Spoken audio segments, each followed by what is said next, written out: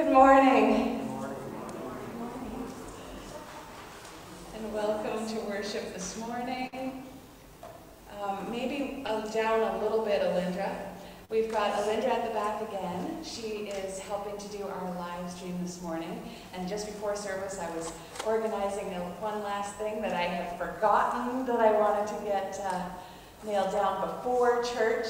And I hope as each of you came in, you had a chance to pick out your favorite color and put it in the um, ornament that's in the basket at the back. If you didn't, just, you know, slide along your pew there and, and drop in your favorite color pom-pom into our ornament. And also later in the service, you'll have a chance to, to add your color if you would like. Uh, Dave's just going back to shut the door, so it'll get even warmer in here as we gather together on this first Sunday of Advent. And as we do each Sunday, I hope you were able to see some of the things that are coming up in our church as we gather. But just before uh, we move into our worship, I will mention a couple of things. So one, after church today, we have our leftover crafts and baking from yesterday's Christmas Bazaar set up in the round room.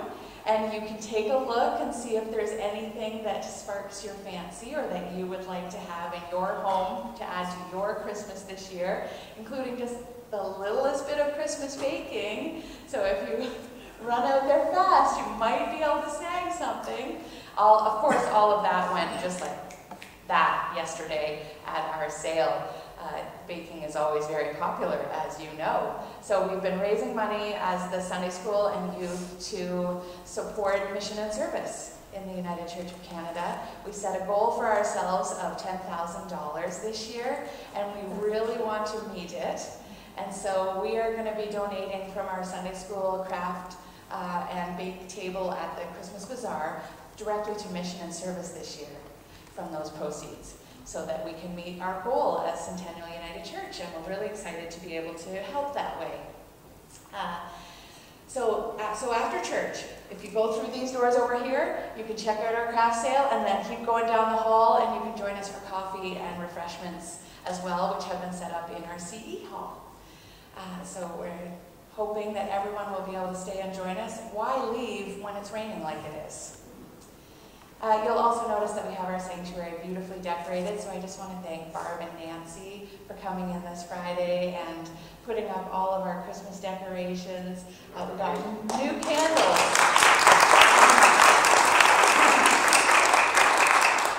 For the window that we're especially excited about, because I don't know if you noticed, but they just came on. We had a timer set and it worked. They came on just in time for worship. We've got a lovely choir here today to lead us in an anthem, and we're just, and all our hymns, we're so thankful for our family, our church family. So also on our craft table, we do have a sign for the outreach and, and social action groups, Apple Crisps. They're still for sale. We still have some small ones and some large ones. So you can uh, check that out too if you are, have just, you know, a hankering for dessert and we run out of Christmas baking, you can always get apple crisp. Um, okay, yes, so th those are kind of like highlights of our announcements. So the other thing I want to remind people is that next Sunday will be our participation in the Santa Claus Parade and our White Gift Sunday. So at the back, there is a list of items that our white gift, our, our, Christmas family children would love to receive this Christmas time, little wish lists. If you'd like to purchase an actual gift instead of just giving money, which money is awesome too because we use that to buy gift cards for groceries that, and uh, other items that they can use. Uh, so all gifts are lovingly accepted and if you can put those on the offering plate marked Christmas family or check off if you plan to purchase an actual gift for our Christmas family. Bring those all at the white gift service and we'll make sure they get where they are supposed to go this Christmas season to share the love that we have in our hearts. Yes, so much is always happening when Advent begins. So I invite you to check, check out your bulletin and also grab your Christmas newsletter if you didn't pick yours up. Uh, it has everything that we're doing in all of these wonderful life and work of our church. So, having said all of that, let us center ourselves for worship and acknowledge this land on which we worship on.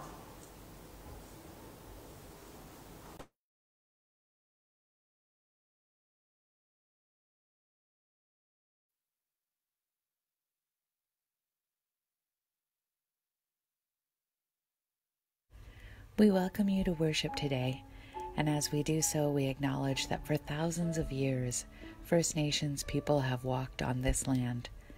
Their relationship with the land is at the center of their lives and spirituality. Centennial United Church is located on the traditional territory of the Anishinaabeg, Anishinaabe, and the Huron Wendat peoples and we acknowledge their stewardship of this land throughout the ages.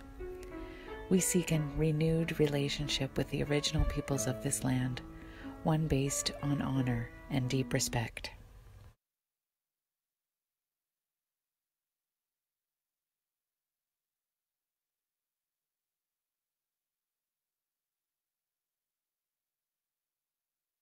Get outside. We get our winter one going.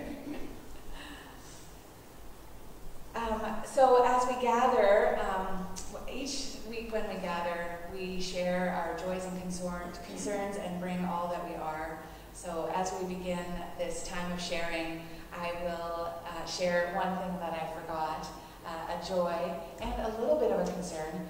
Uh, the joy is that we're going to have a Christmas carol singing festival of song uh, on December 18th at 1.30, followed by Christmas pudding and sauce and ice cream for those who don't love Christmas pudding. Uh, and that, so that's December 18th at 1.30. The concern is that we're having it instead of morning worship. So don't come to church in the morning on December 18th. I'm concerned that there'll be just hordes of people showing up on the, in the morning for worship, uh, only to be told to come back in a few hours for our hymn sing.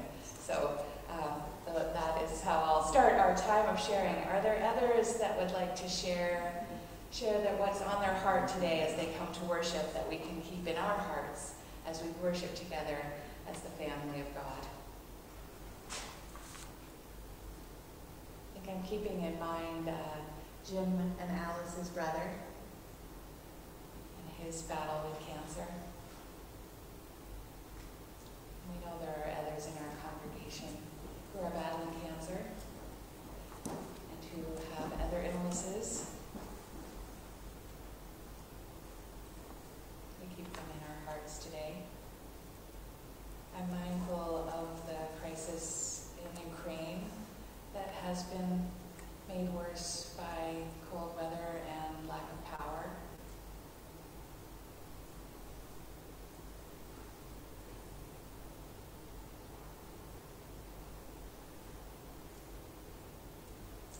sometimes it is hard to hope amidst all of that is wrong in our world.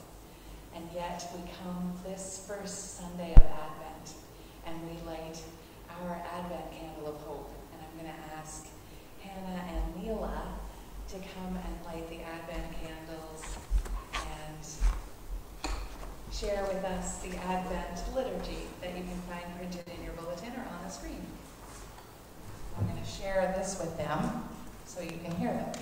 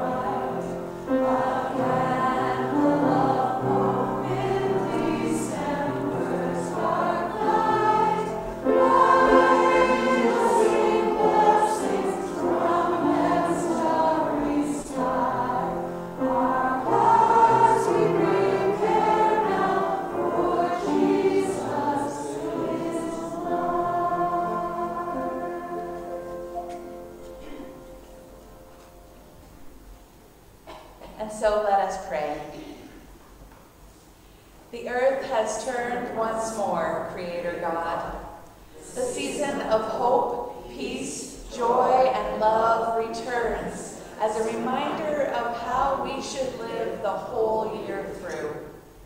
You have called us to be your people, asking us to take your light out into the world. Help us in our times of worship throughout this season of Advent to find the words to share the message of hope, peace, joy, and love. Show us how to be fully aware of your so that we might share your presence with others. This we pray in the name of the one who taught us to pray to you, saying, Our Father, who art in heaven, hallowed be thy name. Thy kingdom come, thy will be done on earth as it is in heaven. Give us this day our daily bread, and forgive us our trespasses, as we forgive those who trespass against us. And lead us not into temptation, but deliver us from evil. For thine is the kingdom, the power, and the glory, forever and ever. Amen. And so, as the faithful, let us come. Number 60 in Voices United, we're going to sing verses 1, 3, and 4.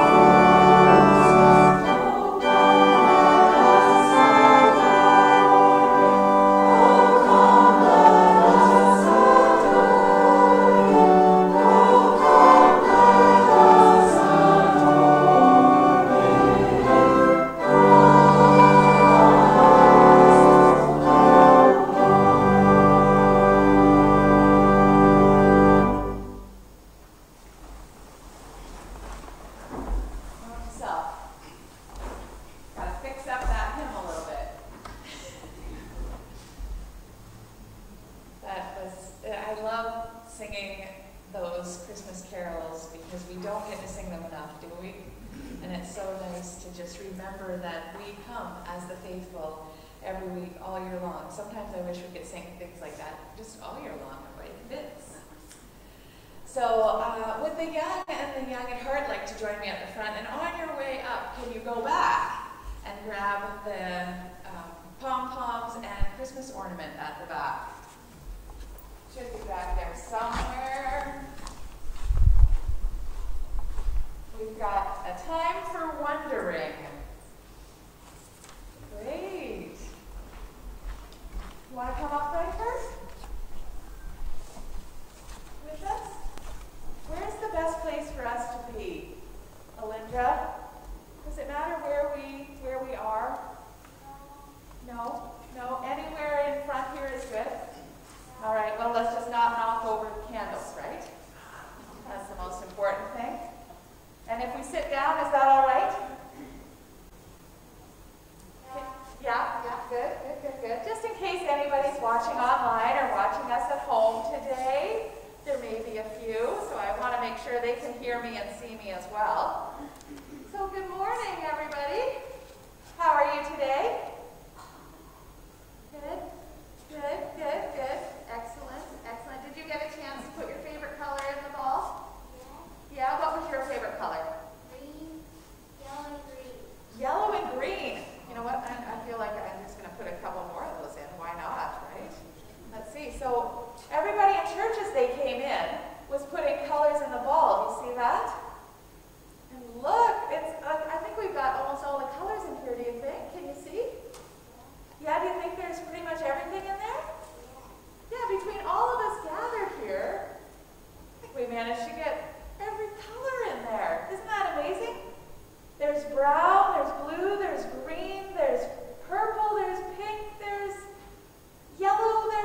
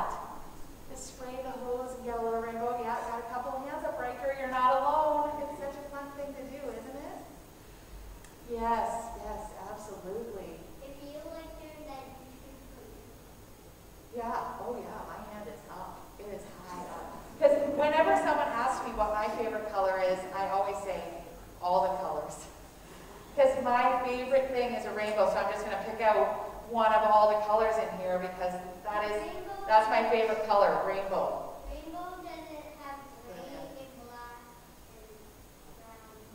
But the clouds do, don't they? The clouds do, and then the ground that gets watered by the rain has all those lovely browns, doesn't it?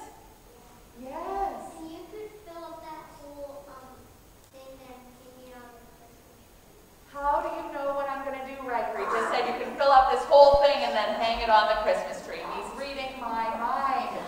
Yes, because, because we are like the, all these different colors, right? Each of us, everyone picked a different favorite color to put in here, and we all make up this church, and we're all different, but we all come together just like one raindrop, and we work together to, and we have all these different colors inside of us. The church is like this wall. So let's, yeah, let's fill it up. Shall we, can you help me? You guys fill that up?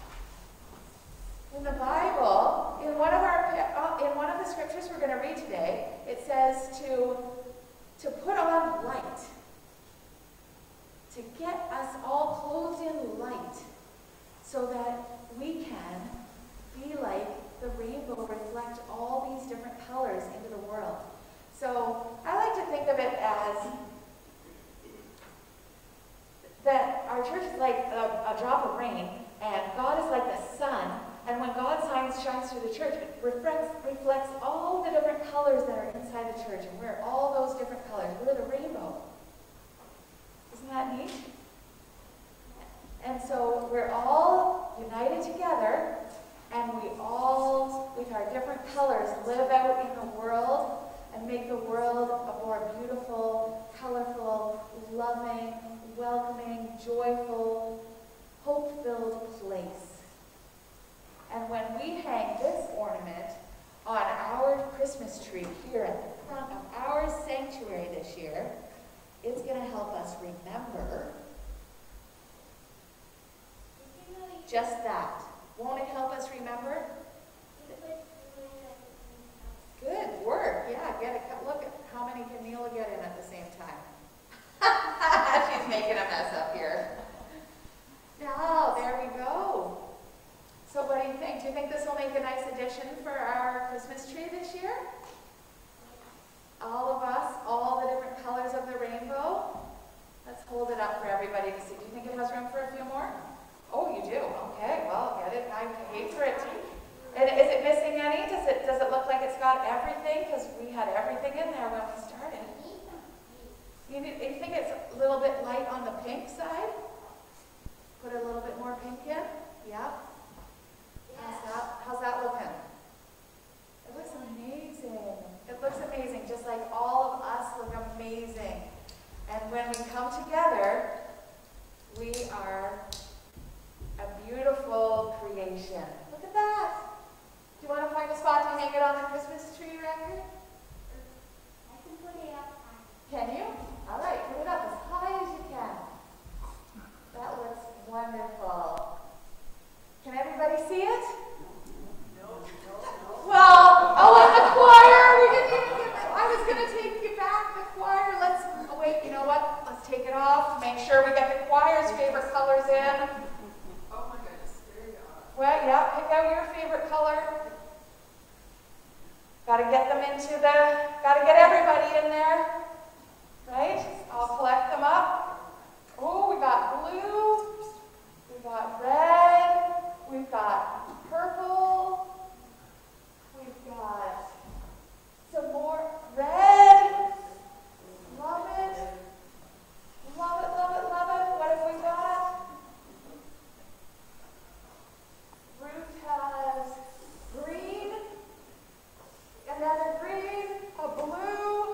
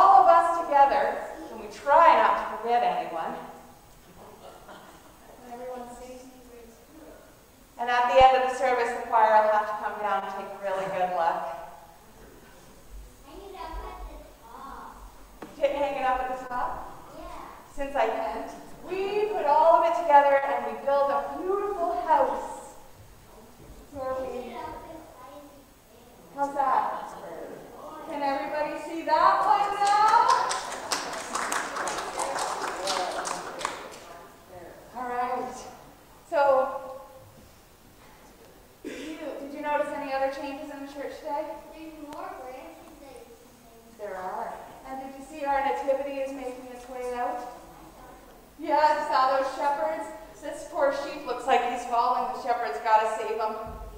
Keep your eyes out for how our nativity gets closer and closer. See if you can find, after church today, Mary and Joseph and the wise ones, and Joseph and Mary's donkey, as they make their way up to Jerusalem. Bethlehem. Bethlehem. Oh, Always do that one. All right. You're going to head off to Sunday school. We're going to sing about the house we are building where all are welcome are all the colors enjoyed and loved.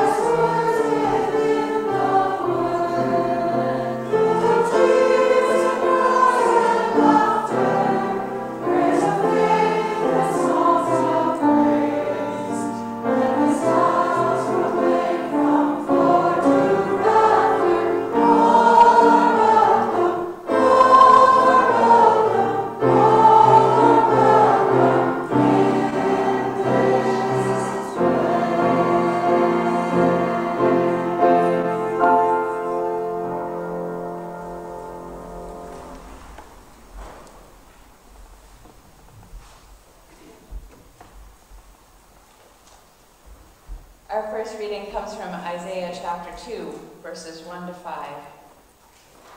The word that Isaiah, son of Amos, saw concerning Judah and Jerusalem. In days to come, the mountain of the Lord's house shall be established as the highest of the mountains, and shall be raised above the hills. All the nations shall stream to it. Many people shall come and say, Come, let us go up to the mountain of the Lord, to the house of the God of Jacob, that he may teach us his ways, and that we may walk in his paths. For out of Zion shall go forth instruction, and the word of the Lord from Jerusalem. He shall judge between the nations, and shall arbitrate for many peoples. They shall beat their swords into plowshares, and their spears into pruning hooks. Nation shall not lift up sword against nation, neither shall they learn war anymore. And an echo of that is our responsive reading for today from Psalm 122, page 845 in Voices United or on the screen. I will read the parts in light print and invite you to respond with the parts in bold print. I was glad when they said to me, Let us go to the house of God. And now our feet are standing within your gates, O Jerusalem. Jerusalem is built as a city bound firmly together. There the tribes go up, the tribes of God, to give thanks to the name of God as was decreed for Israel. There the thrones of justice stand, the thrones of David's house. Pray for the peace of Jerusalem. May those who love you prosper. May there be peace within your walls, prosperity within your palaces. For the sake of my kin and friends, I say, peace be with you. For the sake of the house of our God, I will seek your good. And from Romans chapter 13, verses 11 to 14. Besides this, you know what time it is, how it is now the moment for you to wake from sleep. For salvation is nearer to us now than when we became believers. The night is far gone, the day is near. Let us then lay aside the works of darkness and put on the armor of light. Let us live honorably as in the day not in reveling and drunkenness, not in debauchery and licentiousness, not in quarreling and jealousy. Instead, put on the Lord Jesus Christ and make no provision for the flesh to gratify its desires.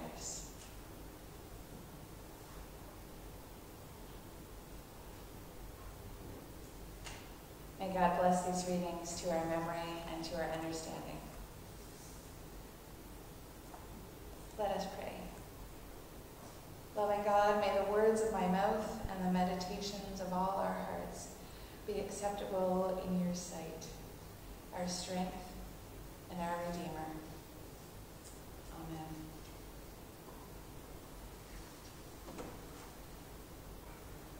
All week long, I have about the images from Isaiah and our psalm. The idea that in the days to come, the mountain of the Lord's house shall be established as the highest of the mountains and shall be raised above the hills, and all the nations shall stream to it. Two things stood out for me. The first was that the Lord's house we are streaming to is established as the highest of the mountains, the very highest, raised above the hills. And as we embark yet again on this Advent journey of watching and waiting for the coming of the Christ child and the time when God's hope, peace, joy, and love will be fully realized and lived out in our world, I am fully aware of how far we still are from reaching our goal the top of the mountain. God's house of justice where peace is fully realized this week, I kept running into reminders of what a difficult climb we are on as we try to reach the summit. On Tuesday, it was at the final webinar of the 40 Days of Engagement on Anti-Racism series, where the Committee for Then Let Us Sing, our new music resource that will digitize Voices United and more voices and provide us with even more music to worship our God, shared their discussions around the racism found in our Advent hymns and Christmas carols. And like many of you, I'm sure, I wanted to just stop thinking about the implications of light as good and dark as bad symbolism and just sing the hymns because they remind me of my childhood or because the notes of the music are beautiful. And instead, if I'm going to be faithful to my work of becoming anti-racist myself, I have to keep looking and wondering and asking questions and slogging through, thinking about what music we will sing that doesn't make me cringe because I know the connotations. Because that's the only way to make it to the top of that mountain step by painful step. And it is painful. Sometimes even getting out of the bed in the morning is insurmountable. Picking hymns for this week made me want to cry. It is painful to put my knitted nativity made by my grandmother in love for me out and know that their whiteness is not only historically inaccurate. If I don't acknowledge the implicit racism in the pattern and my grandma's choice to use these colors of yarn, then I'm losing my footing on my path up the mountain towards anti-racism. Something that was made painfully clear to me on my first Christmas Eve here when the family of Dr. Bill Ives pointed it out after the Christmas Eve service with their eyebrows raised. Pretty white nativity you got going on there. Certain realizations we might have as we do this work will feel as though we are caught up in an avalanche and being swept beyond our control right back down into the deepest valley, where we have to dig ourselves out before we can even start to make our way back up to God's. It is painful. Because that's not the only issue, that's just one issue. You only have to tune into the news to be confronted with all the boulders that block our way to that place of justice where swords are beaten into plowshares, wars, political unrest, gun violence, climate crisis, all need to be overcome. It is painful.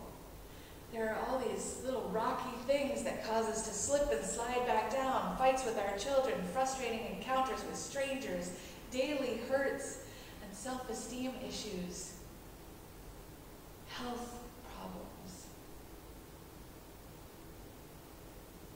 Will we ever reach the mountaintop? Will we ever stand at the gate of God's house?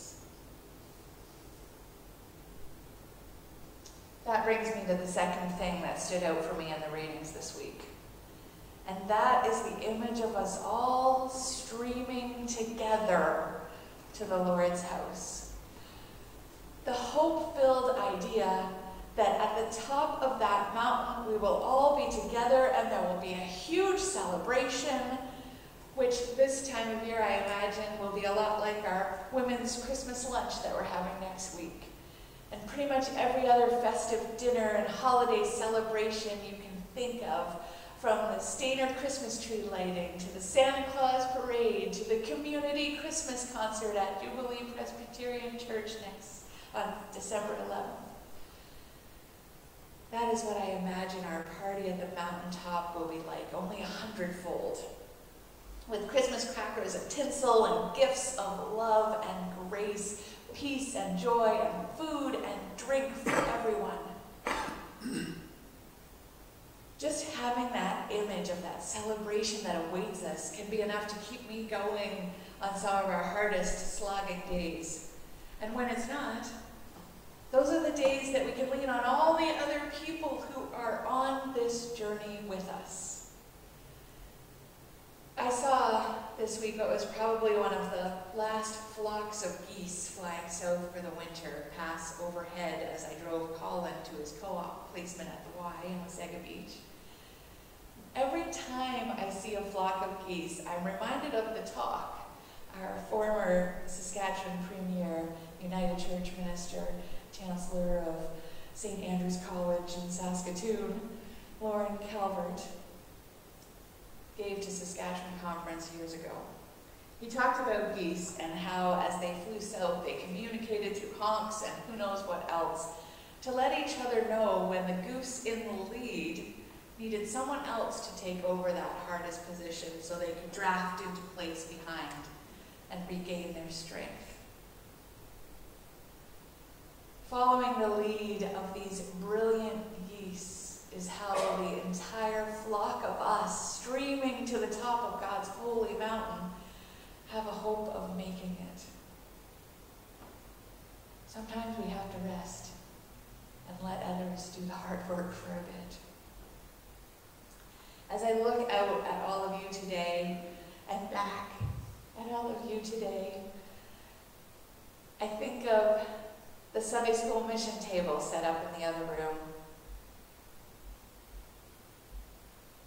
I remember the work of the Outreach and Social Action Committee. I recall our pledge to support M&S work in the church. And I'm encouraged yet again to keep on climbing. What is it that inspires you to keep climbing when the way is steep and the footing hazardous and the going tough?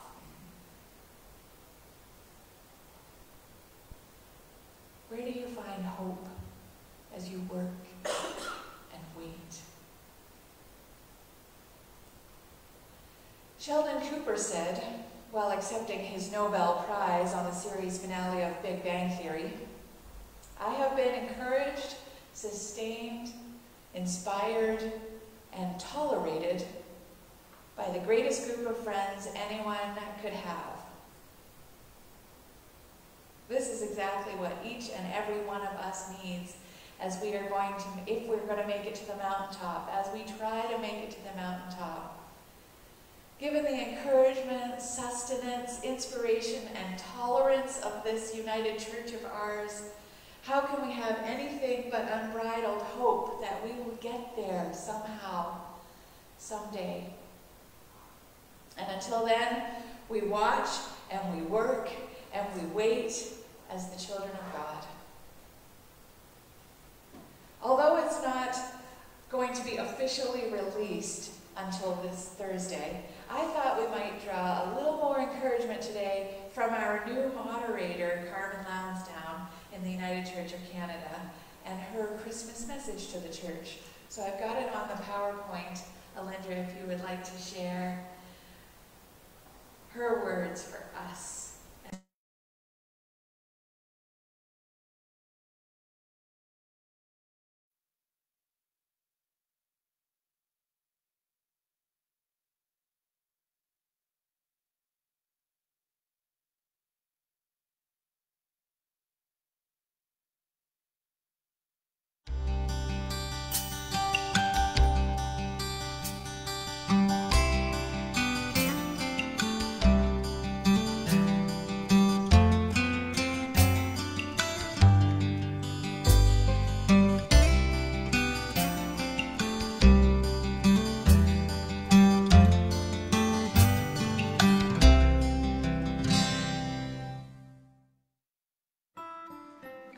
My church family, Christmas greetings to you in the name of the one who came to us as the Word made flesh, in the form of a baby born into lowly and humble beginnings.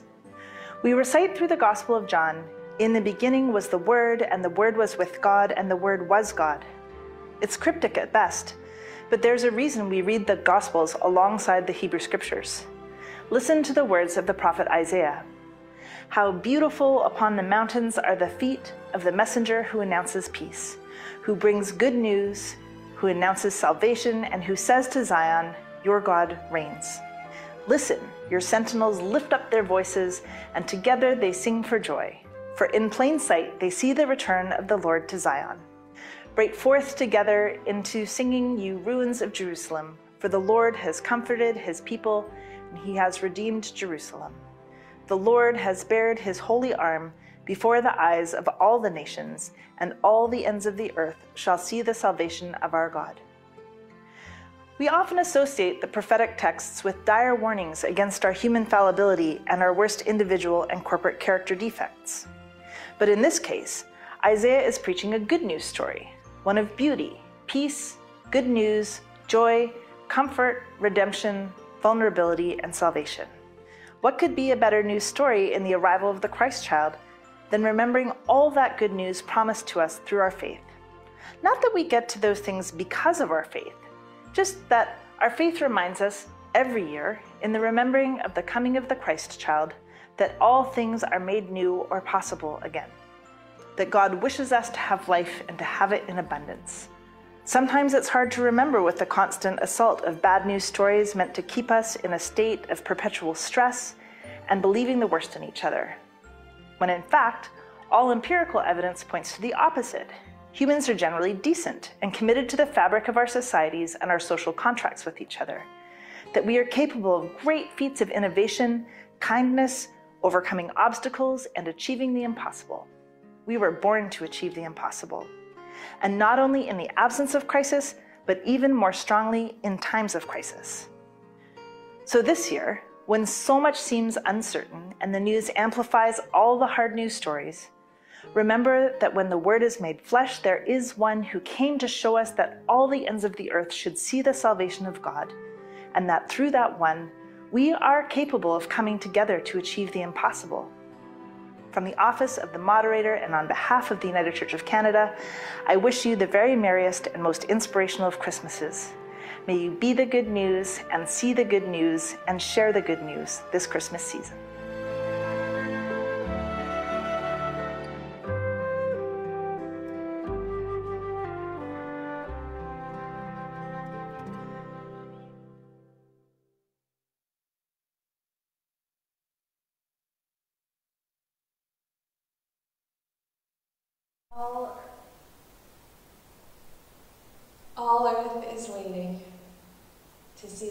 Promised one. And so we continue the climb. Let us sing number five in voice, more voices, in Voices United, All Earth is Waiting, verses one, three, and four.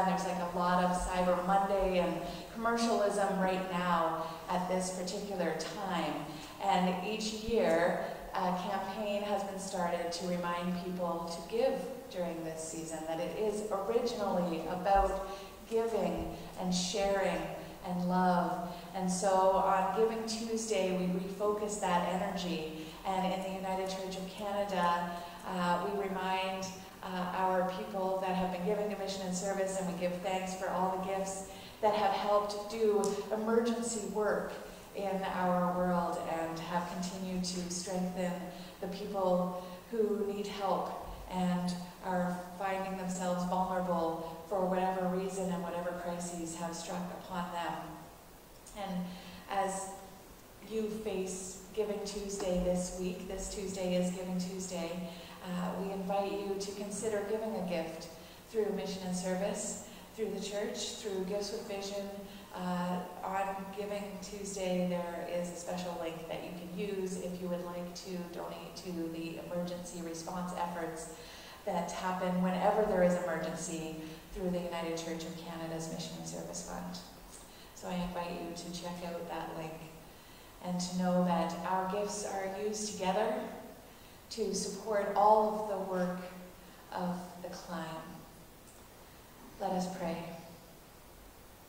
God of love, bless all that we offer and all the ways that we give of ourselves, our time, our energy, our thoughts, our learning, our wisdom, our hard work to climb closer to that place of justice and peace for all, where hope, peace, joy, and love are fully realized in our world.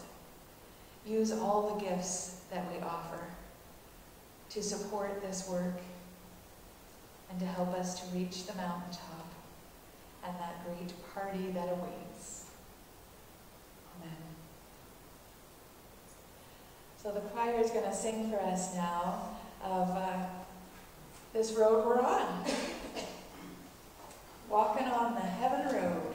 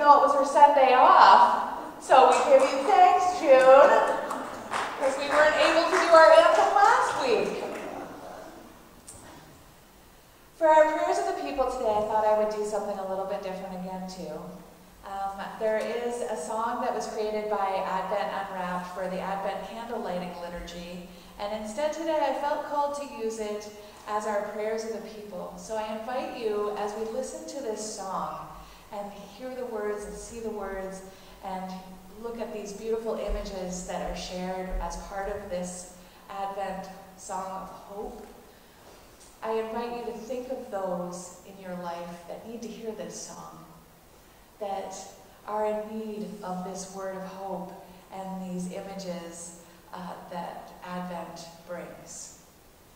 So that's going to be our prayer today, is sharing all those prayers of our hearts as we watch this video and listen to this song.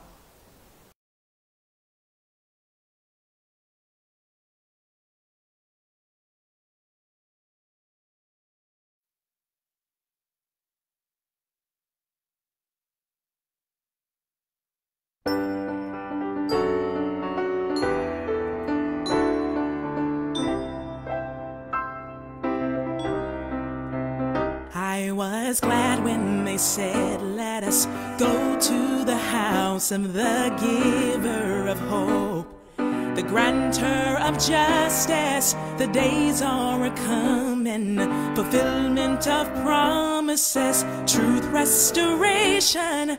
With anticipation, we wait, wait for God's mercy to fill this place. And the giver, the giver brings hope for a future and peace like a river and joy everlasting and love. The giver of love, come dwell with us now. All these things abound.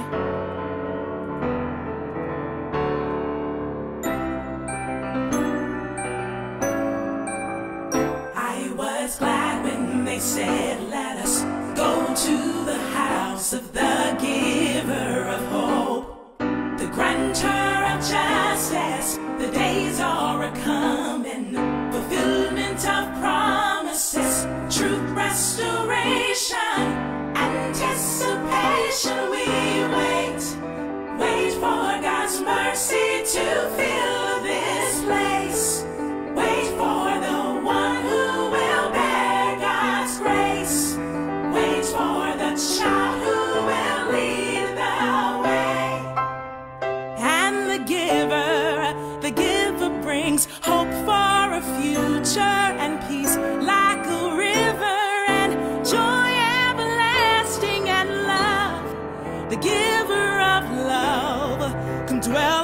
us now. The giver brings hope for a future and peace like a river. The giver brings joy everlasting and love. The giver brings hope.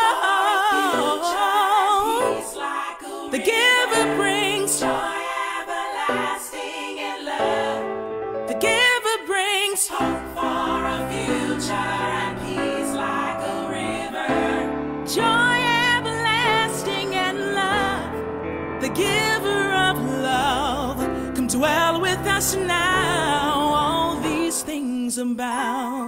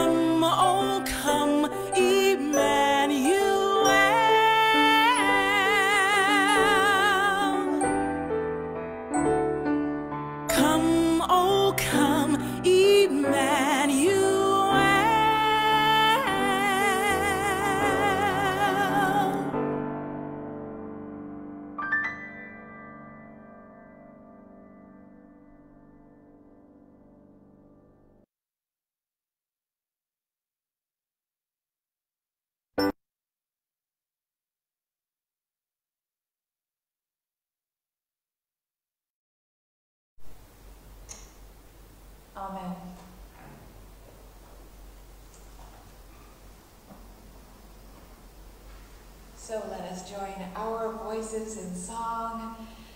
With the words we would sing when we reached the top of that